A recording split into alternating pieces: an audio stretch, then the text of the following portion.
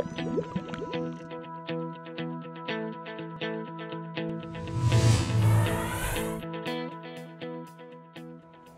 guys, my name is Haji Kadirov. I'm a freelance CG artist.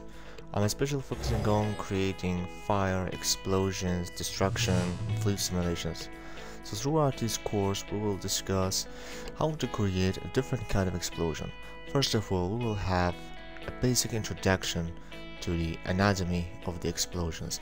Then we will jump into FumeFX and start creating some cool looking dust, smoke, fire and explosions.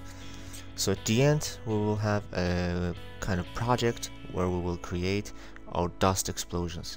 So at the end of this course you will have a better knowledge of how to create a realistic explosions.